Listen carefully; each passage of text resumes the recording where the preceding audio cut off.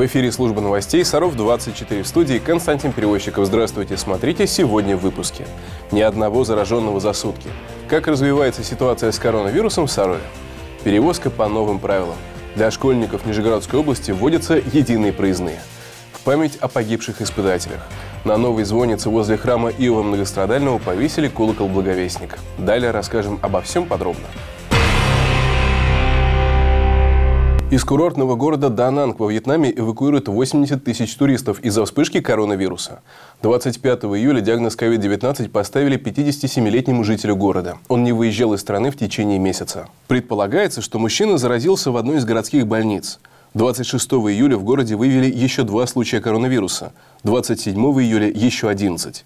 Власти заявили, что в Дананге обнаружен новый, более заразный штамм коронавируса. С 28 июля на большей части территории Дананга будет введен карантинный режим. Жителям можно будет выходить из дома только для покупки еды и лекарств, работы на фабрике или в экстренных случаях. Людям будет запрещено собираться на улице более чем подвое и нарушать дистанцию в 2 метра.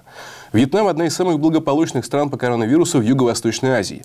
В стране зафиксирован 431 случай коронавируса. 365 пациентов выздоровели. От инфекции никто не умер. Весной Вьетнам сумел остановить вспышку коронавируса благодаря быстрому отслеживанию контактов заболевших, введению карантина на уровне городов и деревень и закрытию границ. В страну до сих пор не пускают иностранцев. В России продолжает снижаться число новых больных.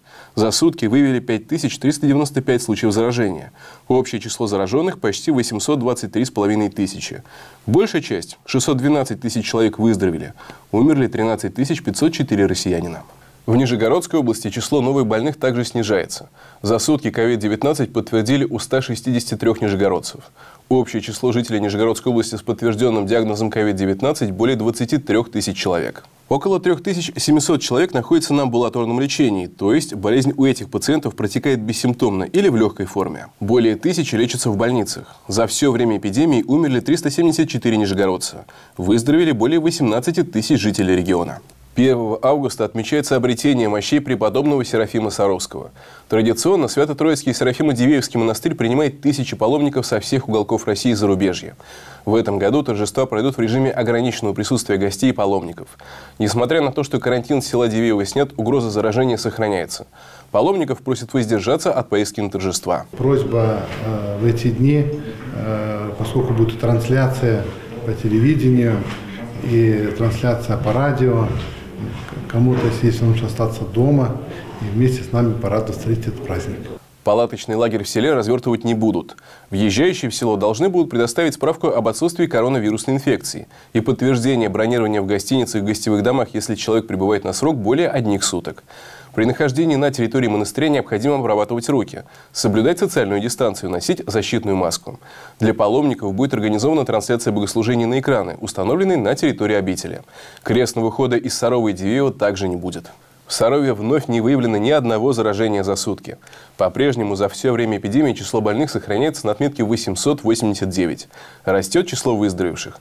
По состоянию на 28 июля их уже 611, плюс 39 за день. Умерли четверо.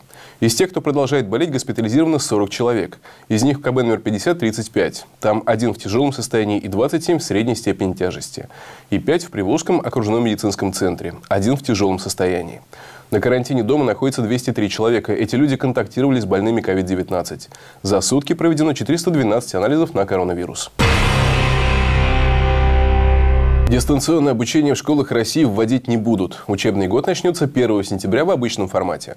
Об этом сообщил министр просвещения Сергей Кравцов. Мы готовимся к тому, что все школы будут открыты. Будут организованы традиционные линейки. Хочу подчеркнуть, что мы говорим именно о традиционной, классической форме обучения с 1 сентября. Мы не планируем вводить дистанционное обучение, сказал министр. Чиновник уточнил, что при организации обучения в условиях распространения коронавируса будет использован опыт, наработанный при проведении единого государственного экзамена. Все требования Роспотребнадзора будут учтены, чтобы максимально обезопасить детей и учителей. Также он отметил, что пока планируется провести и традиционные линейки 1 сентября. Губернатор Нижегородской области Глеб Никитин в своем аккаунте в Инстаграм также сообщил, отвечая на вопросы подписчиков, что власти готовят школы к открытию в стандартном режиме. В регионе идет приемка школ к новому учебному году. Министр образования Нижегородской области Сергей Злобин добавил, что студенты в университетах также будут учиться очно. Роструд предлагает ужесточить меры по борьбе с нелегальным трудоустройством в России. В федеральной службе рассматривают вариант введения обязательного социального платежа, который будут взимать с граждан с 18 лет, за исключением официально трудоустроенных, зарегистрированных безработных, студентов, пенсионеров и других льготных категорий. В группах канала 16 в социальных сетях мы спросили горожан, поддерживают ли они эту инициативу. Большинство, 70%, высказались против. В Сарове до 3 августа сотрудники полиции проводят операцию «Велосипед». Ее цель – снизить количество краж двухколесного транспорта. Правоохранители будут патрулировать дворы и проверять подозрительных лиц, которые передвигаются на велосипедах. Информацию о лицах, причастных к хищению велотранспорта и тех, кто скупает краденые велосипеды и их комплектующие, нужно сообщать по номеру телефона 60522. Другая важная информация в подборке коротких новостей. В Министерстве труда и социальной защиты рассказали о том, чего ждать пенсионерам в ближайшие несколько лет. По словам специалистов ведомства, в период с 2021 по 2024 год индексация выплат превысит величину инфляции. С 1 января 2021 года пенсии увеличат на 6,3%, с 1 января 2022 на 5,9%. В 2023 и 2024 году индексация составит 5,5 и 5,6% соответственно. Эксперты отмечают, что индексация выше выше уровня инфляции позволят не только сохранить, но и повысить уровень пенсионных выплат. А текущие расчеты показывают, что такой подход к выплате пенсий в стране сохранится и после 2024 года. Со следующей недели в Сарове откроются две детские дворовые площадки. Одна по адресу улица Куйбышева, 5 и вторая на стадионе 16 школы. Напомним, каждое лето в нашем городе реализуется областной проект «Дворовая практика». Это сеть детских площадок, куда может прийти любой ребенок в возрасте от 7 лет и старше, вне зависимости от того, ходит он в клуб по месту жительства или нет. Вместе с ребятами постоянно находятся сотрудники Центра внешкольной работы, которые организуют игровые программы, спортивные соревнования и другие развлекательные мероприятия. В этом году старт пришлось отложить из-за угрозы коронавируса. В Сарове возобновил работу церковный гуманитарный склад. Он, напомним, находится по адресу улица Пушкина, дом 24А. В связи со сложной эпидемиологической ситуацией пока что склад занимается только выдачей вещей. Одежду и обувь приносить не нужно. Всем посетителям в обязательном порядке необходимо иметь при себе маску и перчатки. За помощью можно обратиться только после предварительного звонка по номеру 8 906 353 46 37 полиции напоминает о том, что у граждан, которые незаконно хранят оружие, есть возможность сдать его за вознаграждение и избежать уголовной ответственности. Для этого необходимо обращаться в дежурную часть любого территориального органа внутренних дел по месту жительства. Право на денежное вознаграждение за сдачу незаконно хранящегося оружия, боеприпасов, взрывчатых веществ и взрывных устройств имеют только совершеннолетние граждане. С нового учебного года в Нижегородской области для школьников вводятся новые единые электронные проездные. Они позволят оплачивать проезд в автобусе, трамвае, троллейбусе и метро по льготным тарифам. Вместо бумажных проездных, привязанных к конкретному маршруту и перевозчику, вводится универсальная транспортная карта школьника. Подробнее о нововведении в следующем репортаже. Новые единые проездные билеты для школьников появятся уже в сентябре. Пользоваться ими смогут дети от 7 до 18 лет. Билеты будут действовать как на пригородных, так и на городских маршрутах. Чтобы получить такой проездной, нужно оформить персональную карту школьника. Сделать это можно на сайте оплаты безналичной системы сетикарт или в многофункциональном центре. Для школьников э, возрастом до 14 лет необходимо свидетельство о рождении школьника, паспорт одного из родителей.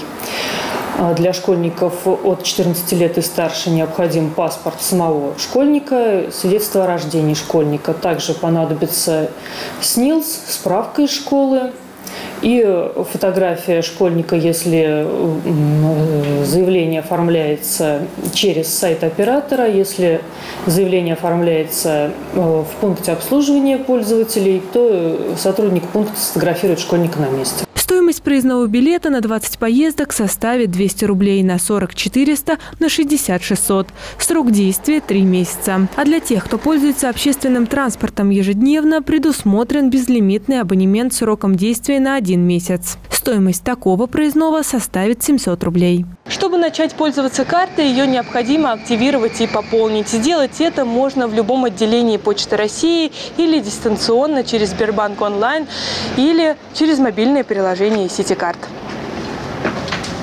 Система оплаты проезда помогает определить, где, когда и в каком транспорте ехал ребенок. Карта также может быть использована в качестве пропуска в учебные заведения и для оплаты школьного питания. Более подробную информацию о карте можно получить по телефону 8 800 222 44 50. Ирина Вышегородцева, Евгений Шевцова, Сергей Рябов. Служба новостей Саров 24. 28 июля отмечается День крещения Руси. Эту памятную дату связывают с событиями 988 года, когда князь Владимир крестил Киевскую Русь. По всей стране в этот день совершается богослужение, а ровно в полдень из храмов доносится колокольный звон.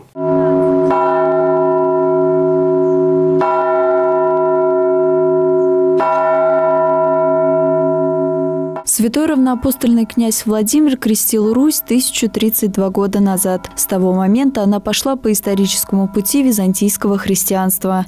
Это стало толчком для развития государства и интеграции в европейский мир. С 2010 года в России праздник крещения Руси стал не только церковным, но и светским.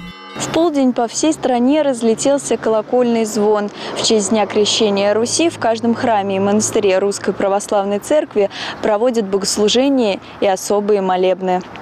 В храме царственных страстотерпцев благовестный звон сыграл сын диакона Максима Константин Макарцев. Юноша обучается этому с малых лет в православной гимназии.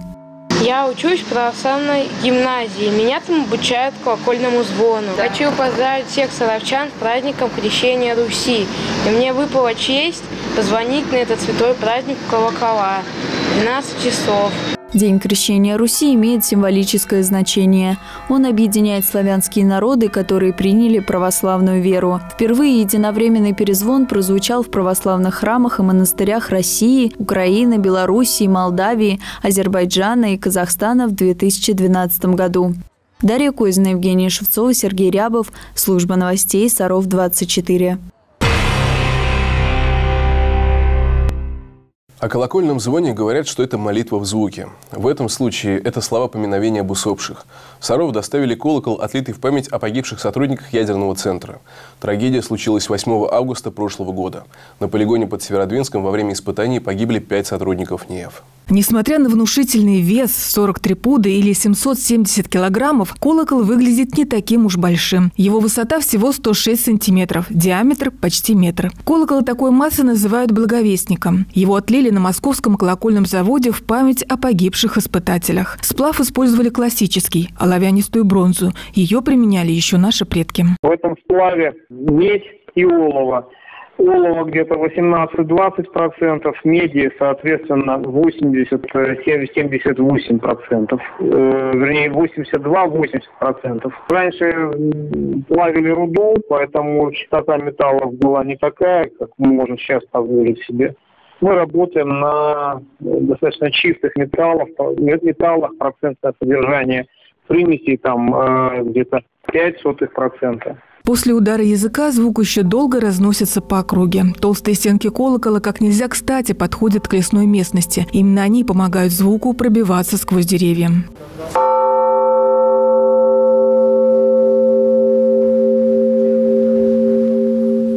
Колокол дополнит ансамбль звонницы храма Иова Многострадального. Художественное оформление колокола соответствует русским церковным традициям. Его изготовление заняло примерно месяц. Это процесс непростой, требуется предварительная подготовка. Сначала делают модель колокола, потом форму, в которую будут заливать нагретый до 1000 градусов металл. По традиции, пока смесь не застыла, в нее бросают свечные огарки из храмов. Считается, что таким образом в колокол заключается молитва. После застывания внешнюю поверхность колокола шлифуют шлифуют и полируют. Даже сквозь упаковочную пленку видно, что поверхность блестящая. На нижнем ярусе юбки колокола отчеканены имена погибших сотрудников ядерного центра. В средней части изображены лики святых. Чуть выше проступают слова молитвы. Предполагается, что колокол осветят в годовщину гибели испытателей 8 августа. Елена Грицкова, Константин Островский, Сергей Рябов. Служба новостей «Саров-24». И это все, чем мы успели рассказать сегодня. Следите за новостями города в группах канала 16, в социальных сетях ВКонтакте, Фейсбук и Одноклассники. Подписывайтесь на наш канал в Ютубе и смотрите все информационные выпуски. Авторские программы и расширенные версии репортажей в удобное для вас время. В студии работал Константин Перевозчиков. Всего вам доброго и хороших вам новостей.